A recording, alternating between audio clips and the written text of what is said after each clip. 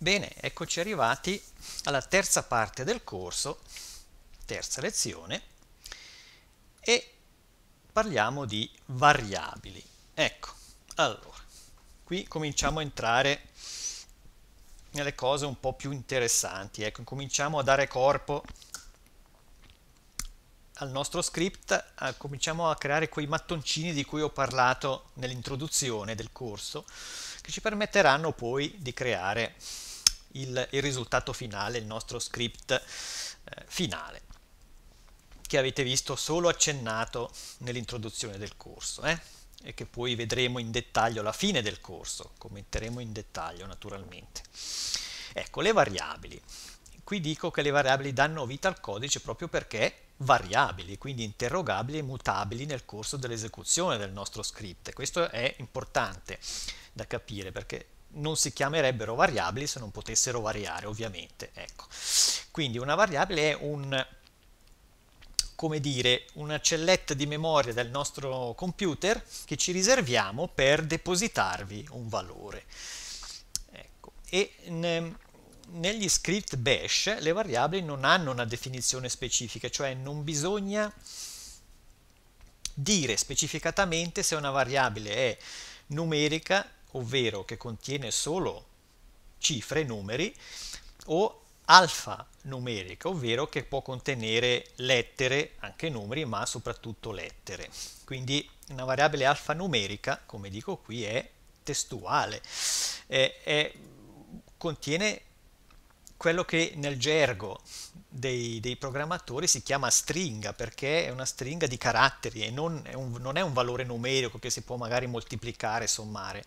Una variabile alfanumerica può contenere contenuto misto. Ecco, vedete nell'esempio che, nei due esempi che ho messo qui, una variabile numerica ho messo pippo uguale a 40, che poi ho riportato qui nel nostro codice di prova della lezione numero 3, quindi se aprite ehm, lo script che si chiama parte 03 vi ritrovate questo stesso codice che ho davanti agli occhi ora io che vedete adesso nel video.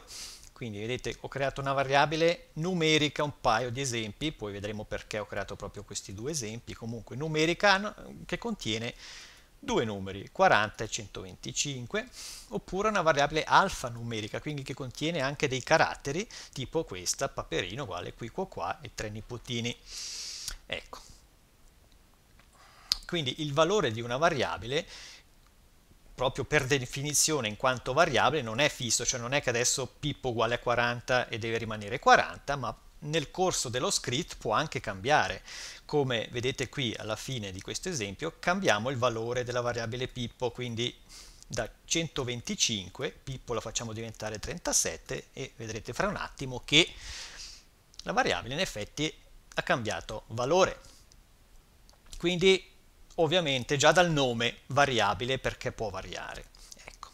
Allora, prima nota, teniamo presente che in Linux, questo ho già avuto modo di dirlo in altre occasioni, in altri video, comunque lo ripeto qua perché è importante da sapere che tutto in Linux è case sensitive, ovvero c'è distinzione fra maiuscole e minuscole, quindi una variabile che voi decidete di chiamare Pippo con la P iniziale maiuscola, questa qua, è diversa, quindi è un'altra variabile rispetto a quella che si chiama Pippo con la P minuscola. Ed ecco perché ho proprio fatto un esempio eh, didatticamente importante, ho creato una variabile pippo uguale a 40 con la P maiuscola e 1 uguale a 125 con la P minuscola, che sono due variabili diverse. Eh. Chiamarla Pluto è più facile, forse più intuitivo capire che Pluto è diverso da Pippo, ma in realtà questo Pippo è esattamente la stessa cosa, diversa, come se si chiamasse Pluto. Seconda nota, per visualizzare il contenuto di una variabile, quindi un conto e caricare la variabile. Qui abbiamo visto che a codice si fa semplicemente così, si, si dà il nome della variabile uguale al suo valore.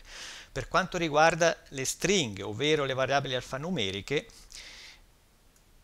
si fa uguale virgolette il contenuto, chiuse le virgolette e questo e fra una virgoletta iniziale e la virgoletta finale c'è il contenuto della variabile paperino.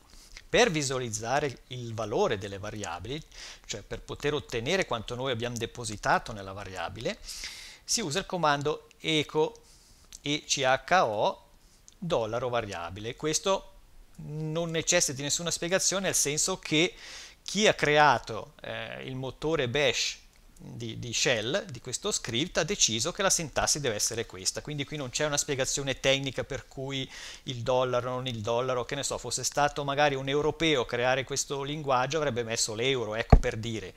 Ehm, quindi non, non c'è una spiegazione, bisogna prenderlo così, bisogna prendere atto che questa è la sintassi, quindi il comando di bash è echo per farci tornare, per leggere quella celletta di memoria nel nostro computer e, poter, e poterci mostrare che cosa contiene, dollaro è il nome della nostra variabile. Vedete qui nell'esempio, qui a sinistra, che ho scritto appunto, dopo aver creato le tre variabili, quindi Pippo maiuscolo, Pippo minuscolo e Paperino, Qui semplicemente non faccio nient'altro che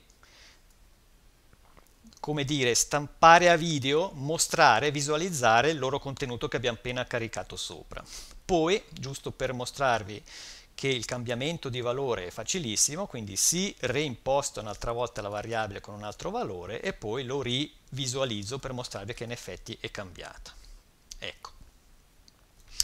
Vediamo, eh, prima di eseguire questo codice di, di descrizione e discussione sulle variabili, magari lo vediamo rapidamente o rivediamo rapidamente da cima a fondo perché siamo proprio agli inizi delle nostre lezioni e dopo la lezione precedente che parlava dei commenti che in realtà non sono proprio codice ma sono codice eh, testo morto per, per, lo, per la, la, il motore bash qui per la prima volta affrontiamo una, veramente una parte di codice vivo da usare. Ecco, allora guardiamolo rapidamente, quindi come sempre, ormai lo sapete dalle lezioni precedenti, la prima riga deve essere la dichiarazione che sto usando il motore bash per questa shell.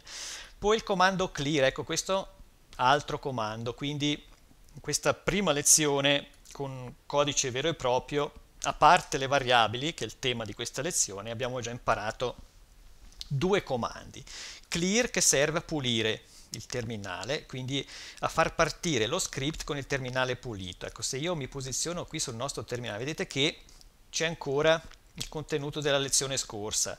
Non è pulito il terminale, c'è già del contenuto visualizzato. Se io uso il comando clear, scrivo proprio clear, vedete l'ho scritto, faccio enter, si pulisce, cioè si, si riposiziona pulito solo con la prima riga di input del terminale. Tra l'altro vedete che ho usato il comando clear nel terminale direttamente, così come lo inserisco nel nostro script, nel codice che poi il motore bash interpreterà. Questo è importante eh, perché, come ho detto nell'introduzione del corso, eh, gli script bash vi mettono a disposizione tutta la potenza del terminale Linux. In realtà i comandi che noi mettiamo qui in sequenza nel nostro script possono essere fatti anche singolarmente, eh, usati scusate, singolarmente nel terminale. Quindi io potrei benissimo farmi tutti questi comandi ad uno ad uno nel terminale qua singolarmente. Perché è la stessa cosa, soltanto che nello script noi li raggruppiamo e li facciamo eseguire automaticamente al nostro PC, è lì la comodità di automatizzare le cose. Raggruppare i nostri comandi invece di doverli scrivere e farli a uno a uno. Allora, proprio perché siamo all'inizio, ne facciamo magari giusto un paio di comandi singolarmente a terminale per farvi vedere quello che ho appena detto. Quindi il clear l'abbiamo già usato, clear, e adesso assegniamo la variabile pippo uguale a 40. Praticamente facciamo questa, eh? questa qua, pippo uguale a 40. Quindi diciamo che la nostra variabile Pippo, ne definiamo una variabile Pippo uguale a 40. Ecco, in questo momento nella memoria del nostro computer fin quando eh, non spegniamo questo terminale, fin quando non chiudiamo questo terminale, e lì è dentro la celletta di memoria dentro il valore 40. Come facciamo a vederlo? Usiamo questo comando echo che abbiamo appena imparato, quindi echo per vedere il contenuto di una per richiamare il contenuto di una variabile. Scriviamo uguale come lì, echo eh, non è indispensabile mettere la stringa davanti mm, diciamo la dicitura Pippo uguale perché adesso stiamo lavorando su Pippo lo sappiamo. Ecco in uno script diventa già più importante essere espliciti. Se facciamo semplicemente eco dollaro Pippo poi chi si ricorda fra le tante variabili di uno script magari bello grosso quale sia quella variabile. Quindi è più carino è più esplicito è più ehm, eh, facile per l'utilizzatore dello script essere sempre molto chiari ed espliciti. Quindi qui nello script ho messo eco poi pippo uguale e il valore dollaro pippo della variabile. Qui lasciamo perdere il pippo uguale perché sappiamo che vogliamo ottenere il valore di pippo quindi scriviamo solo dollaro pippo facciamo sempre l'enter. E vedete che viene stampato tra virgolette a terminale visualizzato il valore 40 e voilà. Avete visto ho eseguito esattamente i comandi che qui sono raggruppati nel nostro script. Tutto lì. Quindi come codice iniziale eh, non è complicato però stiamo rompendo il ghiaccio eh? quindi io posso immaginare che uno che non ha mai programmato né niente si trova davanti a tutta una cosa nuova.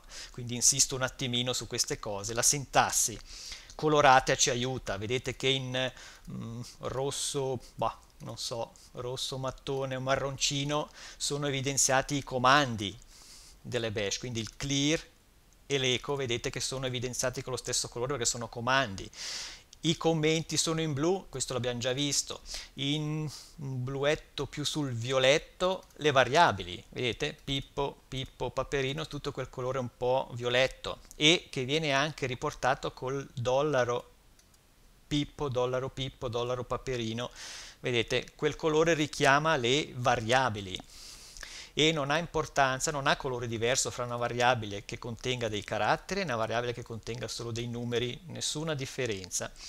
È sempre quel violettino e le riconoscete anche qua. Ecco. Adesso finalmente eseguiamo per la prima volta il nostro codice e vediamo se mi ritrovo il comando. Ecco. Come lo eseguiamo? Perché l'altra volta, eh, nella puntata nella lezione precedente vi ho detto di non preoccuparvi di guardare cosa stavo facendo perché ve l'avrei spiegato, ve lo spiego. Ecco, quindi come si esegue questo script bash con il motore bash? Facile. Noi, io mi sono posizionato nel, nella mia cartella che con, con tutto il corso che è esattamente come se voi aveste estratto tutto l'archivio compresso che vi ho messo a disposizione in una vostra cartella, che non necessariamente deve essere uguale alla mia con il mio percorso ovviamente, vedete qua dentro ci sono tutte le parti di codice. Io nel terminale mi sono posizionato lì, quindi nel mio caso, nella mia home, sotto documenti, tecnica, corso, bash, mi sono posizionato lì, che almeno sono lì e lì ci sono tutti i miei script da eseguire. Poi si usa il comando bash spazio e il nome dello script. Quindi vedete che si chiama corso script bash parte 03.sh e scrivo il comando bash spazio corso script parte 03sh. Facendo enter partirà questo, questo script. Quindi proviamo, faccio enter e voilà. Allora, vedete che i comandi eco appunto visualizzano a terminale qualcosa che sia un testo che noi mettiamo fra virgolette doppie iniziale e finale, ma anche i nostri valori delle variabili col dollaro davanti. Vedete che ce l'ha riportati. Eh? Se seguiamo il risultato con il codice vediamo che corrisponde esattamente. Quindi ha fatto un bel clear e in effetti il primo eco, il primo nostra visualizzazione di variabili è la prima riga perché ha pulito eh, lo schermo del terminale, quindi pippo uguale a 40 e questo eco qua. Vedete, ha fatto clear, ha assegnato pippo uguale a 40, ha assegnato pippo minuscolo uguale a 125, ha assegnato paperino qui qua, qua e poi qui li ha visualizzati tutti e tre. E vedete che Pippo maiuscolo è 40, Pippo minuscolo 125 e Paperino riporta qui qua, qua i tre nipotini. Poi ho cambiato valore in fondo qua, oh, diciamo che ho sostituito il valore nella celletta di memoria della variabile Pippo minuscolo con un nuovo valore, quindi da 125 è diventato 37 ed ecco che riporta che adesso la nuova Pippo minuscola è, 100, è, è 37. Ecco, avete visto che non è niente di stratosferico, niente di difficilissimo. Abbiamo già creato un nostro primo piccolissimo script, bash, quindi abbiamo già programmato. Eh? Eh, seppur semplice, seppur agli inizi, però ovviamente non si può iniziare con programmi della NASA. Ecco qua un piccolo piccolo programmino che però è perfettamente funzionante. Ecco. Adesso, già che ho detto la frase perfettamente funzionante, io vi vorrei mostrare cosa, vuol, cosa succede quando c'è qualcosa che non funziona e perché nella prima lezione vi ho fatto attivare alcune opzioni dell'editor gedit, dell'editor di testo che può far comodo. Ecco. Inseriamo volutamente un errore un errore in una riga, eh? senza accorgerci inseriamo direttamente un errore, non so, il paperino qua, vediamo un po', eh, facciamo che, ecco, non mi accorgo che ho fretta a scrivere, scrivo un comando ecco con due C invece che eh, eco giusto, non, vedete che non è più marroncino, perché non è un comando riconosciuto dalla bash, dalla shell, non è un comando riconosciuto, però diciamo che sono distratto, vado di fretta, non me ne accorgo che si è scolorato e quindi c'è qualcosa che non va, salvo, eseguo il mio script vediamo cosa succede. Ecco, cosa è successo? Vediamo due cose interessanti. Una, lo script non è andato in errore subito, ma solo al momento che ha incontrato l'errore. Cosa vuol dire? Questa è un'altra cosa interessante e importante da tenere presente. Eh, ogni script bash è interpretato dall'inizio verso la fine. Sempre, eh, proprio perché è un linguaggio interpretato riga per riga, quindi lui parte dal comando clear e in avanti, va, va, va, va, va, va, e poi qui ha incontrato l'errore. Ecco vedete che in effetti ha fatto a tempo a mettermi a video che la variabile pippo è uguale a 40, la pippo uguale a 125 e poi ho un errore. Ecco, io nel, nell'editor di testo avevo fatto attivare la visualizzazione della riga di testo, vedete qui 1, 2, 3, bla bla bla. Perché è importante, adesso lo capite, vedete che qui l'errore viene indicato esattamente con la riga. Cosa ci dice il terminale? Che lo script corso script bash parte 03.sh alla riga 15 c'è scritto ecco che è un comando non trovato, non riconosciuto. Vedete? Molto chiaro l'errore, in questo caso è banale. Riga 15, quindi noi andiamo dritti dritti alla riga 15 e vedete che troviamo l'errore. Accidenti, e ho scritto eco con 2C e lo correggiamo. Ecco perché è importante avere visualizzato il numero di riga e vedete come il terminale è molto preciso a indirizzarvi dove avete fatto l'errore. Adesso l'ho corretto, salvato, se rieseguo, eh, tra l'altro ho dato magari per scontato come riprendere i comandi già eseguiti, per chi non ha mai usato il terminale me ne scuso che ogni tanto mi sfuggono queste cose che sembrano scontate.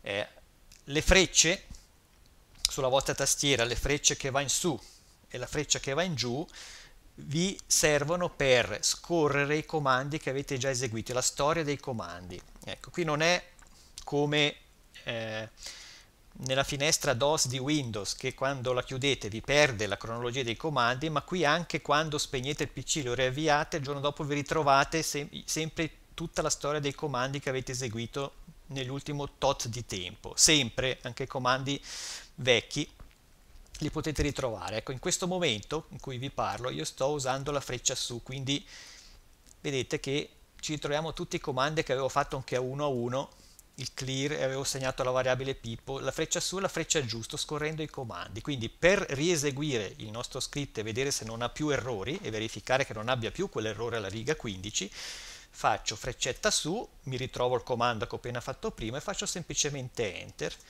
e vedete che adesso rifunziona perché è corretto. Ecco. Molto importante quindi, eh, che abbiamo visto in questa lezione sulle variabili abbiamo imparato sì cosa vuol dire eh, assegnare un valore a una variabile, come si fa a recuperare questo valore, ma soprattutto abbiamo capito anche come funziona lo script bash, abbiamo imparato un paio di comandi, clear ed echo, e soprattutto che lo script bash viene interpretato dall'inizio alla fine, abbiamo visto come si fa a posizionarsi su un errore, se c'è un errore nel nostro script, a intercettare l'errore e a capire dov'è, e abbiamo capito come si usano queste variabili, come si valorizzano queste variabili.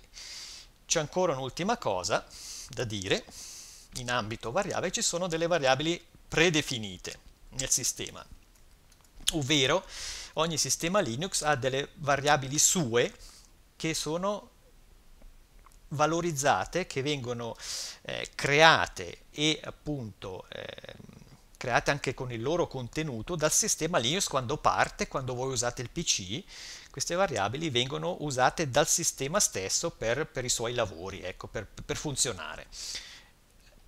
Um, queste variabili non sono diverse dalle nostre, se vogliamo, hanno dei nomi che di solito sono tutti maiuscoli, come vedete qui. Io ho messo qui alcuni esempi di queste variabili predefinite, eh, che ci possono dare anche dei valori che sono comodi per il nostro script e qui ne ho messo appunto alcuni esempi con il comando echo per, per ehm, in, interrogare il loro contenuto. Ecco, vediamone solo una eh, fra tutte, poi voi naturalmente avete tutto a disposizione, potete provarne anche di più, però se io faccio echo user come questo, per esempio, echo dollaro user, enter, vedete che viene fuori Nicola perché il mio utente, come è riportato anche qui nel prompt del terminale, il mio utente è Nicola. Eh, addirittura c'è anche questo random che mi to ci torna un numero casuale. Si sa mai che possa servire a qualcuno in un suo script di avere dei numeri che variano ogni volta che viene richiamato, vedete che è random, lo richiamo una volta, poi tasto freccia in su enter, vedete che varia ogni volta, tasto freccia su, enter, vedete che varia. Questo qui è una variabile predefinita di sistema, variabile numerica, che torna un numero, un valore casuale, magari qualcuno serve, eccetera, eccetera, eccetera. Ecco.